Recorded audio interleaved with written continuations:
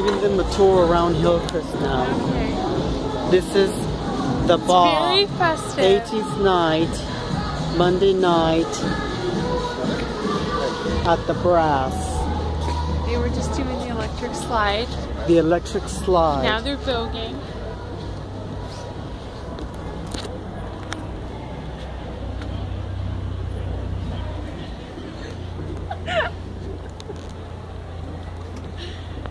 Okay, so I'm gonna be a year sober, January the 3rd, but I'm having my party on January the 5th at Brick Bar. And it's gonna be my one year anniversary party. I expect you to be there in a winter ice